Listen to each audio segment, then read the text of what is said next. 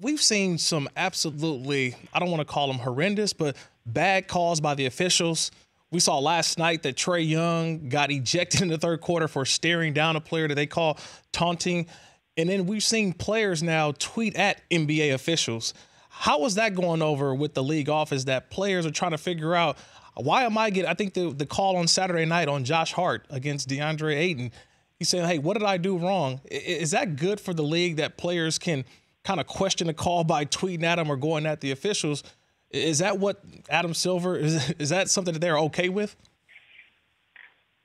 Can't be, and and it's also I think a message of there's a lot of new referees now. When you watch games, Kirk, how many of these guys you recognize? Ah, uh, not not many. I mean, I, and I don't know how close you're paying attention, right? But you know, all the really, really great referees have, are gone. Right. Like now, like Zach Zarba's like a veteran referee in this league. Joe, the Joey Crawfords, the Crawfords of the world, and the Bavettas, and you know, all those guys are gone. They they've not only lost some veteran referees that were really, really good, uh, Javi, you know, mm-hmm. but if you watch closely on some of the top basketball games in college you'll see former NBA refs there. Um, I, I think a lot of the veterans retire because one, they're getting old, and but I think a majority of it is they're tired of all the cameras being on them, mm-hmm. everything being judged in slow motion. Just such, uh, there's so much pressure being an NBA ref. It's a lot of thankless, very thankless job, although they get paid really well.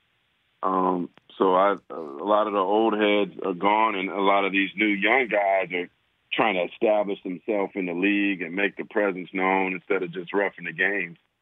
Like the one with Trae Young yesterday was just ridiculous. Mm. I mean, trash talking is part of the game. Right. Even Reggie Miller tweeted about that. It's just, um, you know, I, I was at a game at, in the G League showcase, and there was a referee who uh, called a technical on a player for taunting. And it was a player who was playing really, really well. And NBA teams were like getting a chance to see him during the showcase, former NBA player. And his second tech kicked him out of the game when he was in the middle of a hot streak. And you just felt like the whole enthusiasm of the game just went out the door, man. And everybody kind of looking at the ref like, why'd you do that?